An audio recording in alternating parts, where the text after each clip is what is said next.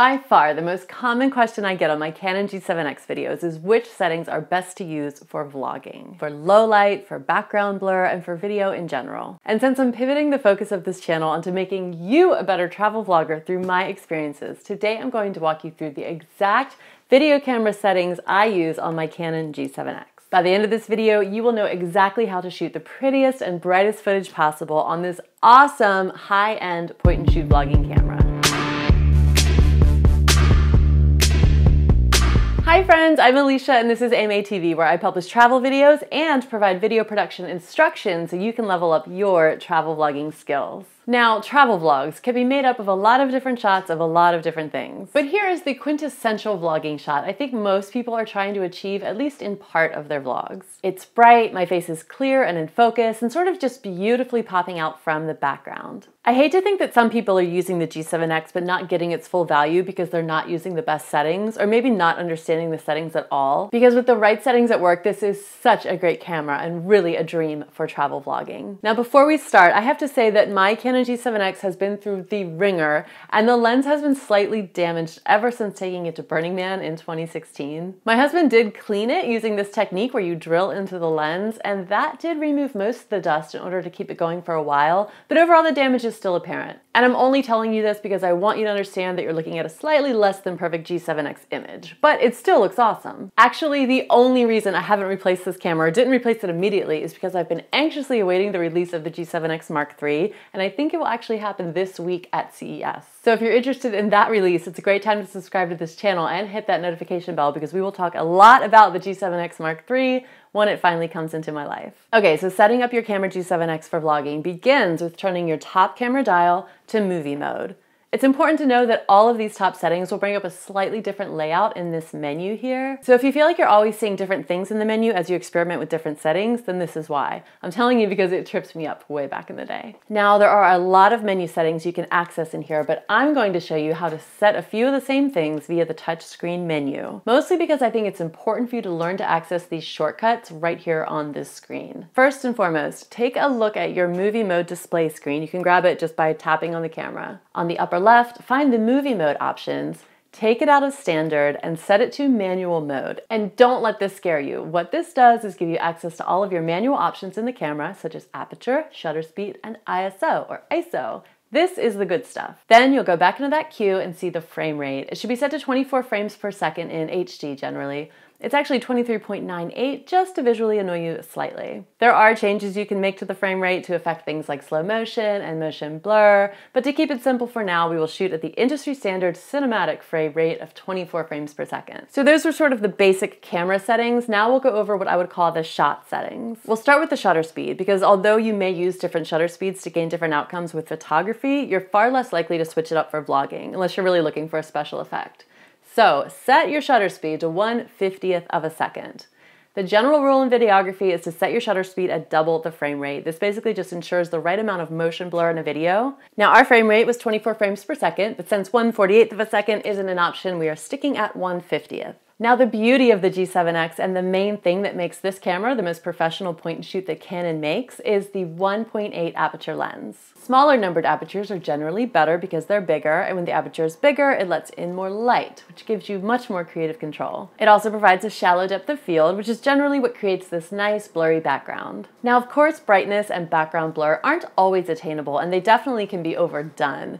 If you're actually in super bright light you may need to stop down the aperture because it's just too bright Otherwise, you can use the built-in ND filter on the G7X to keep the larger 1.8 aperture in operation. You would do this if you were really going for that shallow depth of field. What's left is ISO, and this is where we actually get some control over the exposure. Generally, the smaller number, the better. However, setting a higher ISO is sometimes the solution you need when you are shooting in lower light. Although a higher ISO will make it brighter, the downside is it will give you some film grain after a certain point. So if your all of your other settings are correct and you need some more light but don't want the film grain, consider actually adding lights to the scene before you bring up the ISO too high. Now a lot of more amateur cameras have this exposure compensation dial. I would just forget that entirely. I never touch this dial because I prefer to control classic camera settings manually for the most professional approach and the absolute best results. And I promise it's not as hard as it sounds once you play around with it and get used to it. It's so important for travel vloggers to go out and practice getting good shots with your camera in all sorts of of different conditions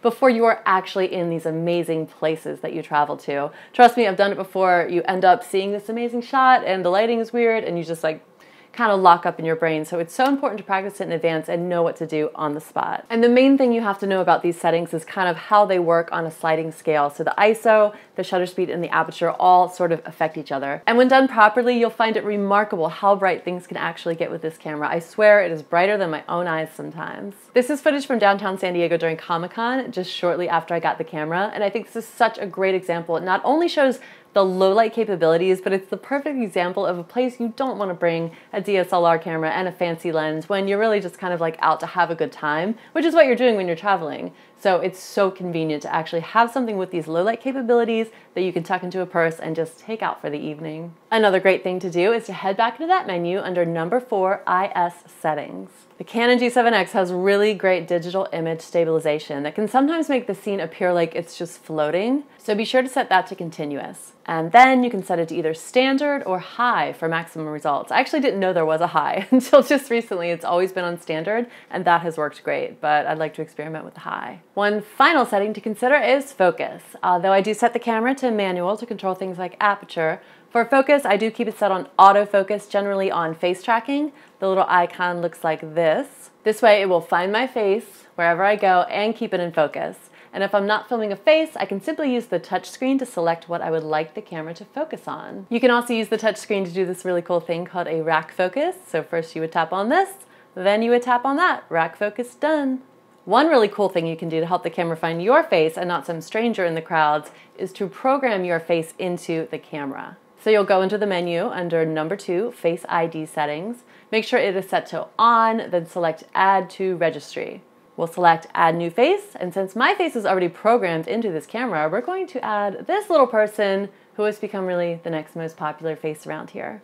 Although not making an appearance today, sorry. So anyway, that little programming should help the camera find focus not only on faces, but on its favorite faces. And there you have it. I hope this information was helpful for you to get the most out of your G7X or find some more reasons to buy one if you don't have one yet. Get that camera. It will change your life. Your filmmaking life, at least. Right now, the G7X Mark II is about to be at its lowest price ever with the new one coming out, and although I'm sure the Mark III will have some great features, I really wouldn't hesitate to buy the Mark II again because it's a really great camera for vlogging and getting all sorts of gorgeous shots and just leveling up your videography completely. I'll add my Amazon link to this camera in the description below, and I greatly appreciate if you do make a purchase. It helps to support the channel and it doesn't cost you anything extra. It's a great way to get your gear because you get to learn about it first from me. Let me know in the comments if this was helpful and if you have any additional questions about the Canon G7X. If you would like to learn more about this awesome camera, do check out the other videos I made discussing some more of its features and also some issues you can learn to tackle, such as recording external audio. And like I said, subscribe to AMaeTV now for more videos coming soon about the Canon G7X Mark III and also other tutorials about how to become a better travel vlogger. Also join me in the Facebook group I created for awesome people like you. It's called Travel Film Friends, and it's a place for us constantly improving travel filmmakers to discuss this exciting art form. I'll put that link below as well. I'm Alicia, and I will see you all next time. Bye!